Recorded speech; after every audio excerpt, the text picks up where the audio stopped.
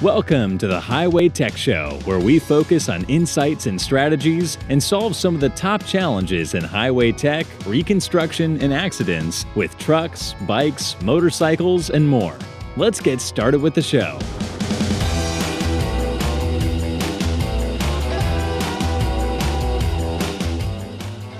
John Grindey here. And John Steiner here. Uh, we are the hosts of Highway Tech. We talk with uh, top leaders of OEMs, commercial fleets, legal, and much, much more. Uh, today, we're going to flip the script. What we're talking about is J- John Grindey and I hosting guests and doing interviews. But today, we want to introduce Dr. Jeremy Weiss of Rise25, who has conducted thousands and thousands of these interviews with very successful business leaders in a, a variety of industries. And he's here to interview us. And I'd like to introduce Dr. Jeremy Weiss. Thank you both for having me. And it's always a pleasure to talk with Grindey and Steiner because you guys are really the experts in the industry. And we're going to find out more about Mecanica, you know, scientific services, what you do. And before we dive into this, and you're going to tell me some cool stories about how you met and the inception of the company. This episode is brought to you by MecanicaCorp. And at MecanicaCorp, what they do is they provide engineering and scientific analysis uh, and the services to many different industries. So, legal, automotive, commercial truck and bus, manufacturing, uh, transportation, and more. What I like to say to both of you is if it has wheels, if it rolls down the highway, or I guess a golf course, that you have their back, right? And anything from golf carts to passenger vehicles to heavy truck and bus. And I know you have these, and I could see if anyone's watching the video, you see this like drone like thing over the side of Grindey's shoulder. They utilize cutting edge tools, technologies, and methodologies to perform accident reconstruction. What I picture is like just the worst accidents out there and being able to recreate them. And you help do that and analyze the crashes and communicate the analysis so it's clear and quick to your clients. And I know you've worked with some of the biggest transportation companies out there. Everyone has heard of these companies. Um, but what you do is you specialize in this highway vehicle safety research and testing, collision analysis, and expert testimony, and um, and event data recorders. And whenever I hear black box data, I think of you guys. Okay, so if you have questions, go to mecanicacorp.com, learn more, check out more, email them. So I want to start with both of you. Is how did you first meet? Well, I think it's an interesting. It kind of goes back. We always joke. Uh, that I arrested John when I was actually in my former life of a California highway patrolman. I, I usually but, say uh, after about the fourth arrest, uh, yeah. we became good friends. But that, that in the back of the vehicle because you did that for 24 years, Grindey, right? Yes, sir. Yes, sir. 24 years. Yeah. Yeah, I, I met him when I was. Uh, I think you had just started with uh, another firm in Long Beach, mm-hmm.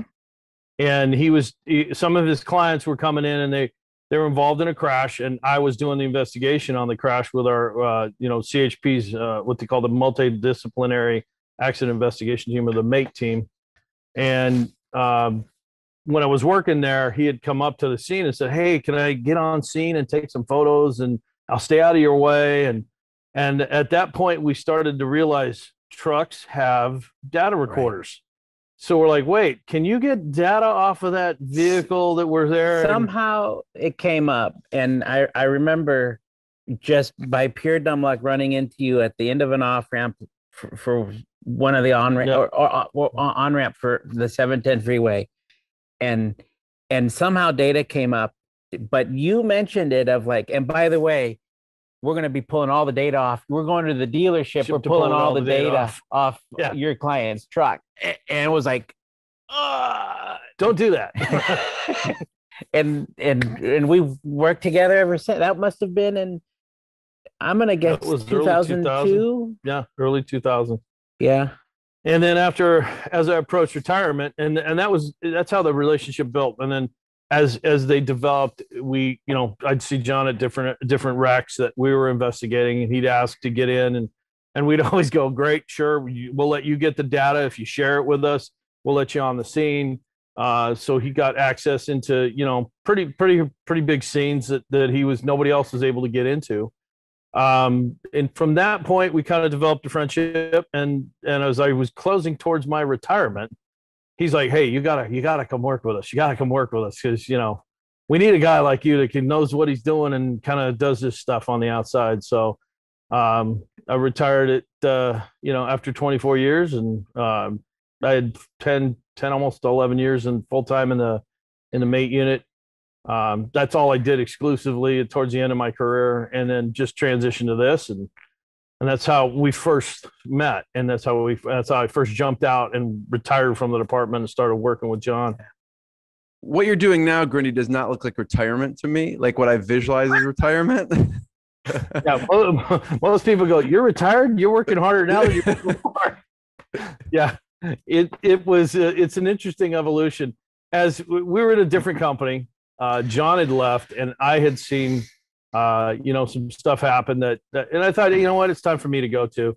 And I I called him, and we sat down, and we decided, okay, we're going to open up Mecanica, uh, you know, and it's going to be scary as all get out. And uh, you know, anybody who's opened a business knows that you're like, I, I think I might be able to make a little bit of money some some point in time in the near future. You hope, um, you know, it felt like more was flowing out of my pocket every day. Um, you know, we are we had our wives running around doing stuff. Yeah. I remember my wife taking a trip down to uh, it was Torrance. It was a we had to go get some equipment in Torrance. I said, "Yeah, take two credit cards and go down to this place and buy this, you know, fifty thousand dollar piece." And she's like, "What? Don't worry about it. There's two credit cards you're gonna." You're like, you're gonna be divorced in retirement with yeah. that. Yeah. So, but the, you know, she did it. She was a trooper. She did it, hung in there, and uh, fast forward, what are we? Seven years now. Seven years. We're on seven years yeah. we've been doing this, and we're doing very well. We got 24 people, 25 people. Yeah, we started. We, you and I plus Kathy. Kathy, yeah. Kathy's been uh, there since the inception, since, and and and uh, I worked with Kathy for seven years before, and um, we uh, um, had a uh, an incredible start. You know, Mecanica was was born literally over about four business days. Uh, it was it was not planned. and I remember going to IKEA with Grindey and uh, getting our first desk because when we first started, we literally were working on the tailgates of one of our Ram trucks. Yeah, um, that's appropriate for what you do. yeah, literally yeah. He had one of the harnesses set up across the tr- back bed of the truck, and we were doing a de- image of, of a, a modules on the back bed of the truck because we didn't have a table to put it on. Right. And that was my desk. Yeah. I love those stories. You know, I want to hear about the evolution of the business. What were the services you started with offering and then now? And I also want to hear about the evolution of the team. Because Steiner, you mentioned you you basically you guys have really long-standing careers and then you decide to start this company and you kind of put together this dream team of the people that you had met over the past few decades. And so it started with with the two of you and kathy. Talk about the team now.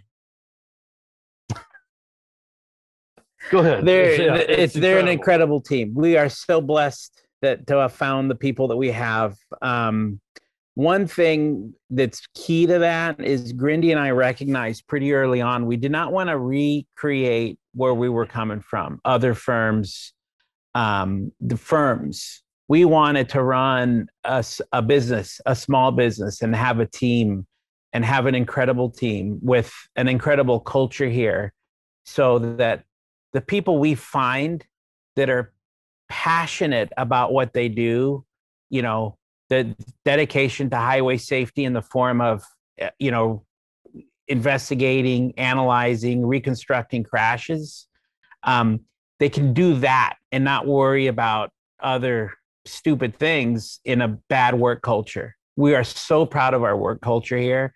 And and what i yeah 24 24 people 24 now. people now. We have an office location in elk grove we have one in San Diego, our headquarters here in Oxnard, where we're at, uh, at on this video.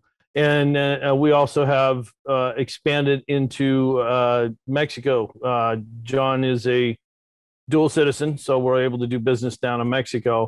And we're starting to talk to the federales uh, down there about their processes and how they're doing things. nice. and uh, some other companies down in Mexico because that market is completely changing. They're changing their rules, the way they're doing their uh, court t- uh, trials and testimony. Uh, so there's a, a lot, lot, of, opportunities for us down there. We have one of our employees is uh, he's basically a consultant right now, but he is in Mexico. He used to work up here, and then went back to Mexico because uh, he's a Mexican citizen, and he's kind of handling some of that stuff, mm-hmm. dealing with the the the training portion and right. how do we get to become you know leaders in the industry down there as it right. is just opening up yeah. to uh, highway safety. Yeah.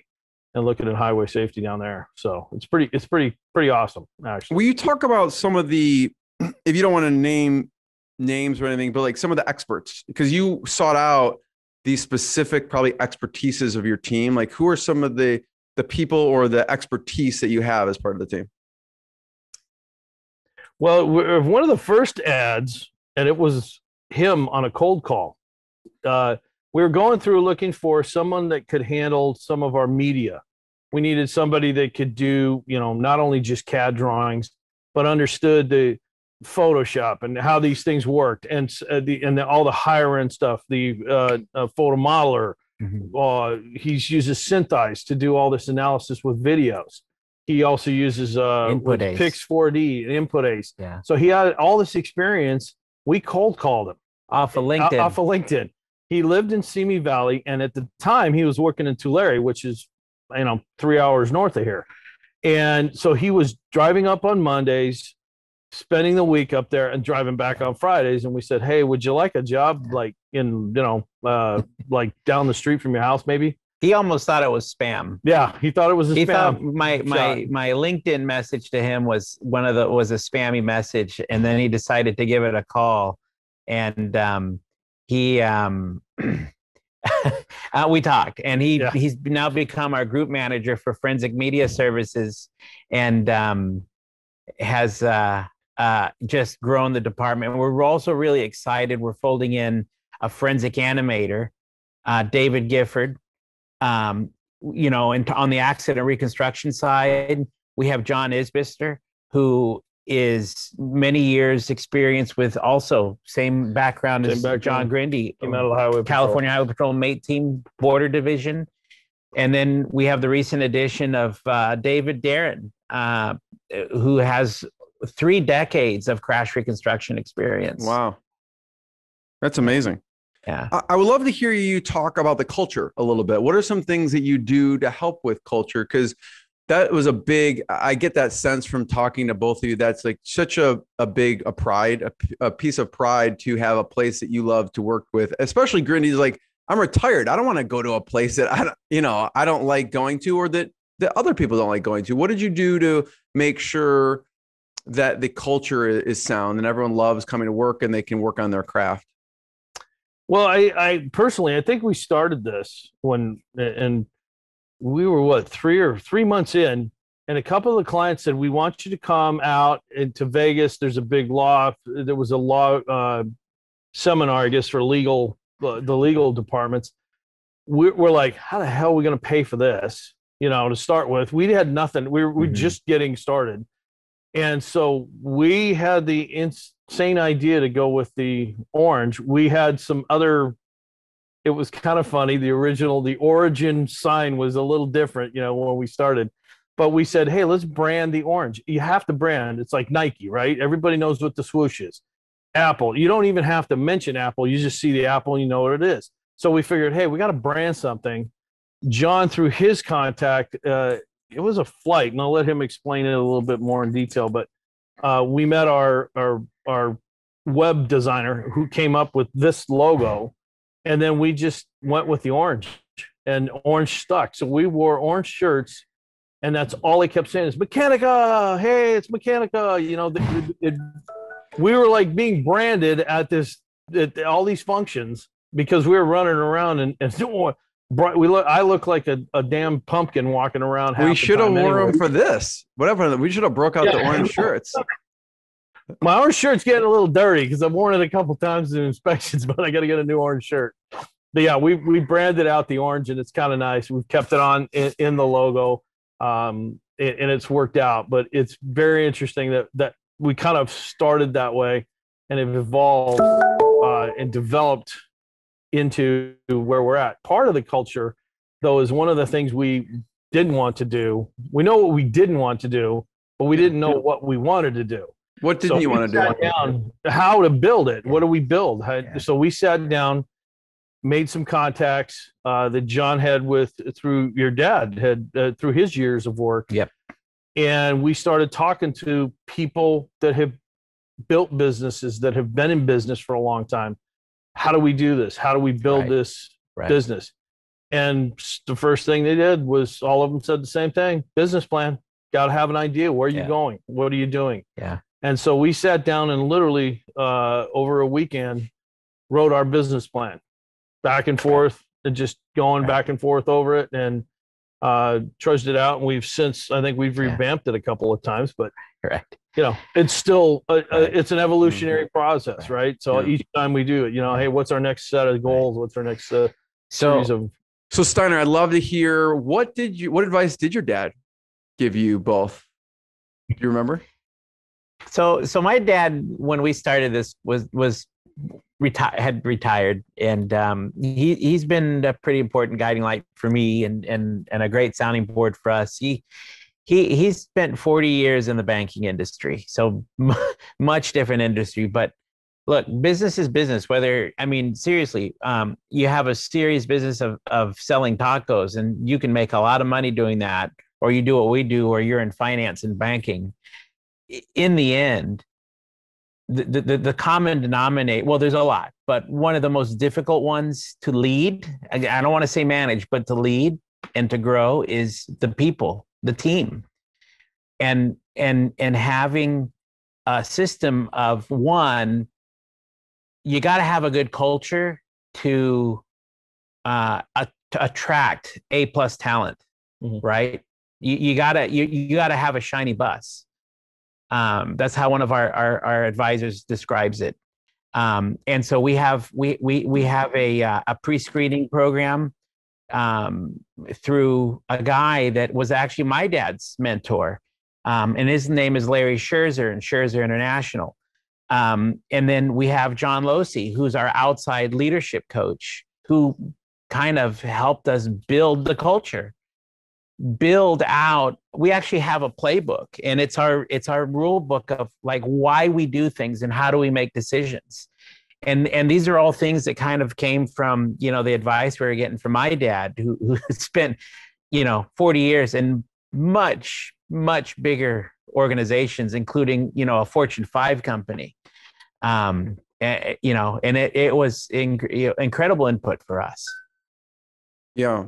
I, want to you know i think another episode that would be great that i want you guys to consider is and Grindy, you mentioned this is how the rules have changed. I'd really be interested to hear from your guys' career and your standpoint over several decades what has changed in the rules. So if you find that interesting, I'm going to just put that plant that seed, and so maybe everyone listen to another episode where they'll talk about that. But Absolutely. I'd love for you to talk, walk me through an example and walk people through an example. Okay, you don't have to name names; you have to name companies, but just so people can visualize what you actually do. So, I, what I'm picturing is a truck's going down, crashes into a car. There are pro- maybe several injuries, maybe someone died, and there's a.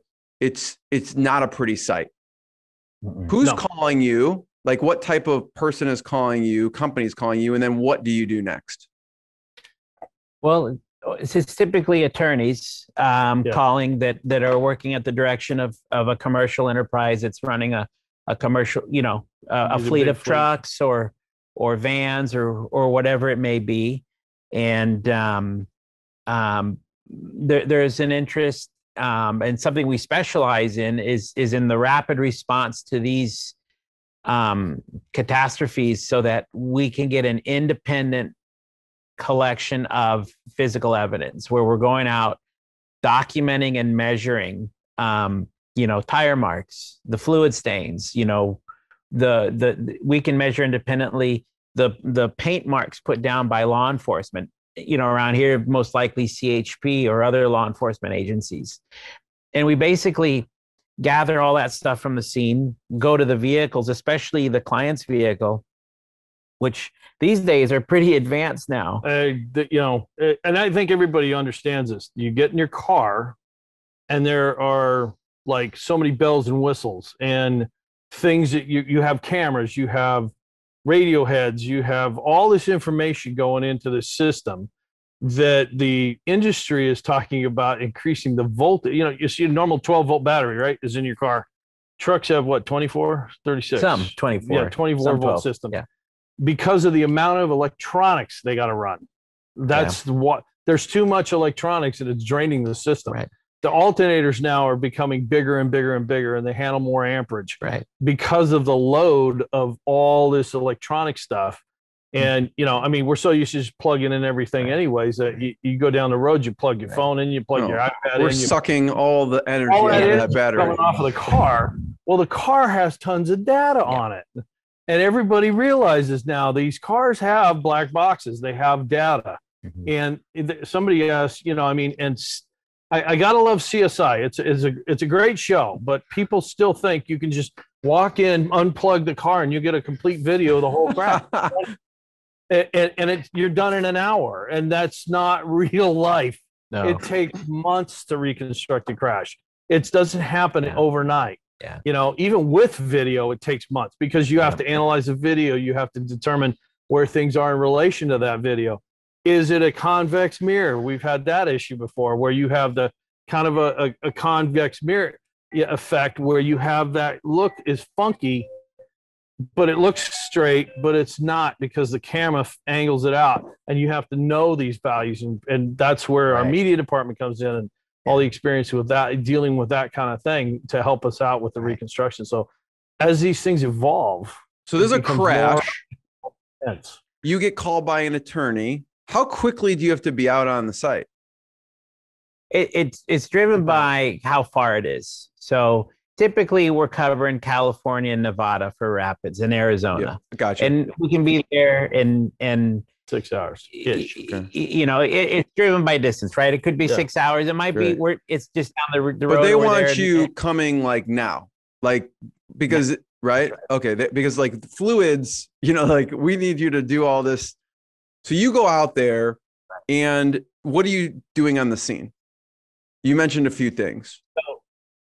so so so a couple of things you'll see over over Grindey's shoulder. sorry. Um, um, the we document scenes by by drone technology, and also over um, my shoulder, you can see there's a a gizmo on a tripod, and we're taking 3D measurements. So we want to memorialize what's out there. Uh, along with these these very high end um, devices, we're also taking um, very high quality digital photographs, hundreds of them at the scene. And then we also drive through the scene to capture video so that it's all memorialized because you're, you're, you were kind of touching upon um, something really important. As soon as the crash is cleared and the highway is open again, all of that physical evidence starts disappearing and pretty quickly. Um, and and we, it's very important to, to get that stuff documented. So, so that and the vehicles, the data off the vehicles, th- those are the, the key things. And then sometimes the client will ask, well, we need a preliminary or, you know, just let's just sit on it for now. Kind of, there's just so many scenarios. Right. Uh, but yeah, No, that's it's really interesting. I, I, you know, so Grindey, you were saying like you can't like CSI this and like, okay, cool, we got it. Like the next day. So now they call you to the scene. You gather all this data with all the technical devices that you have. Right. Now what? What do you you do next? You hit enhance. you, You hit push- enhance, you, you can push just the enhance button. and you read it. You see the guy's face. No, yeah, it's I, exactly. I, I think at some point we, we will get to, to that point. You know, Not I, there I, yet. I'm old enough where I remember, you know, everybody thought we were going to have George Jetson's flying car by now. So, you know, it's a, it's the 2000 we were supposed to all have flying cars. They're getting there. it's just not fast enough. But the, the- you know, I, I digress. I say, it, but the, one of the things we do post is we come back, we offload all our camera stuff, all the equipment gets you know refreshed, uh, batteries recharged because we don't know when the next thing's going to happen or Mhm. somebody else had, like you know we we had that little short recess here to allow somebody to go do an inspection. So they're heading off to go do an inspection of a vehicle. Sometimes we can't get to the vehicles right away. Sometimes it has to go later, but we get back and post processing is where all the all the time spent. It's offloading and uploading all the photos. It's getting you know, organizing them into kind of groups because you if you just take you know I I can tell you I just did this. I had 26 gigs of photos. You know that's a lot of photos and now you got to organize tons of photos. Yeah. yeah. So you got to organize them all into some kind of reasonable grouping, meaningful grouping, set, yeah. Uh, make an understanding of what you're, what. So when when the attorney gets it, they don't have just thousands of photos. Yeah. That they're going, why do I have fifteen hundred photos of these things and I have no idea what they're where anything is? Like, can you organize it for me? So that's why we do that. It's to, it's to simplify the organization. They want to look at something specific you know they can go right to that folder and then find those photos that, mm-hmm. that are related to it uh, then we process and start processing all of the drone footage the, the Faro footage uh, you know put that all together draw a preliminary drawing so we have an idea of this is the roadway environment and this is what we have and and then we do things like when the, the report gets issued we take the report from the police and we add where they say things were you know, versus where we saw things. So sometimes you'd be surprised. It's pretty close, not always. Some don't do a real good job of drawing skids. Yeah. Uh, they take two points instead of, you know, and you see a right. big arcing curve right. skid mark. Right. And they started at one end and they went to the other end, but they forgot all the stuff in the middle and they draw a straight line. And you're like, that's not what the skid looks like. It's clear from the photos, it's curved and so we have to re- resolve. I think I'm gonna go. I'm gonna think I'm gonna go with your guys' uh, synopsis over someone eyeing it, like drone and right. 26 gigs of photos.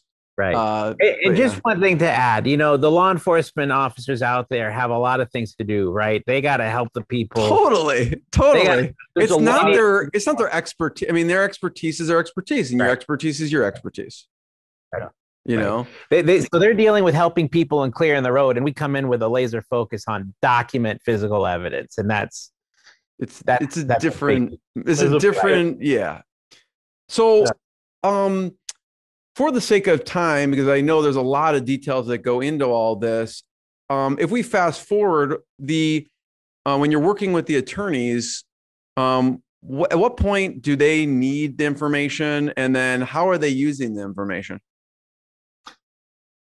you want to talk a little bit about that? Yeah, it's um, it it, it the, the answers vary. So, some of the more sophisticated fleets um, want, uh, even if there's no litigation, want want us to look at the data and provide answers on what's going on. You know, why did this happen? Why why did our what in our safety systems didn't work to to, to that's supposed to mitigate this stuff, and how can we improve?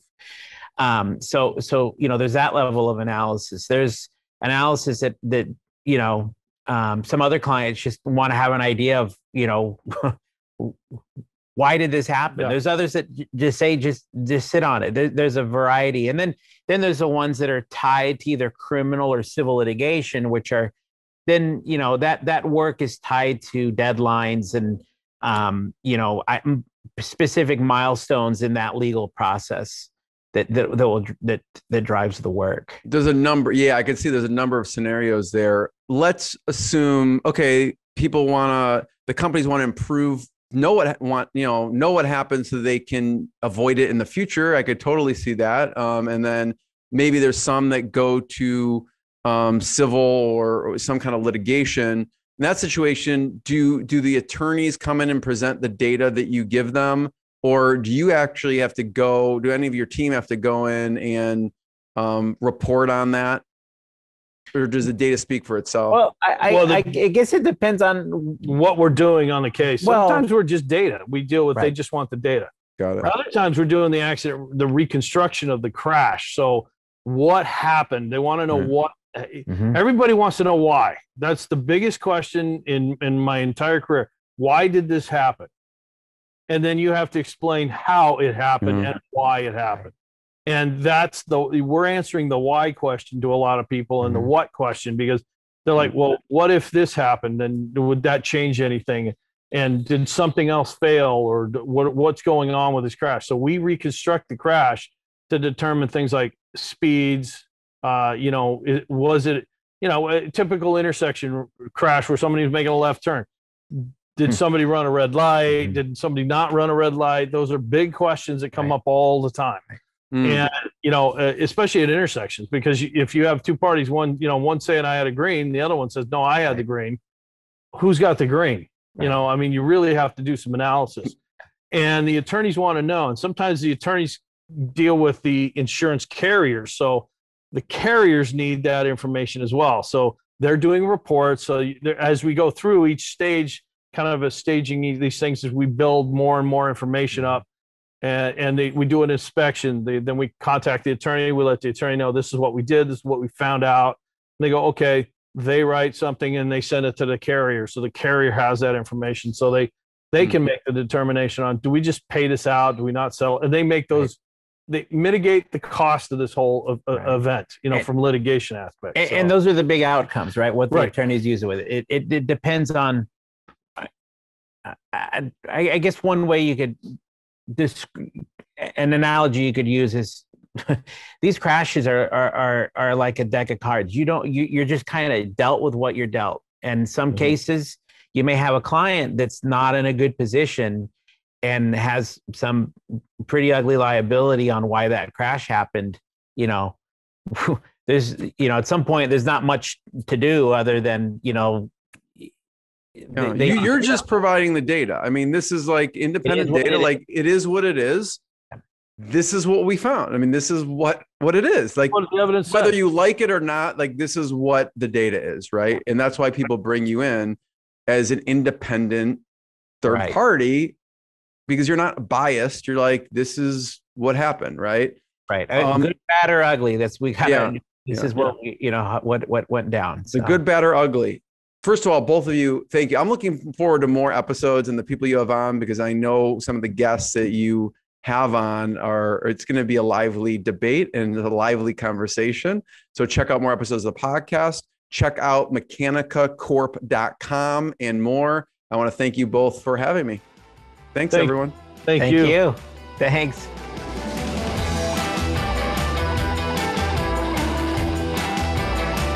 Thanks for watching and listening to the Highway Tech Show. Take action with what you've gotten today. And if you want to never miss a show, make sure to go to highwaytechshow.com.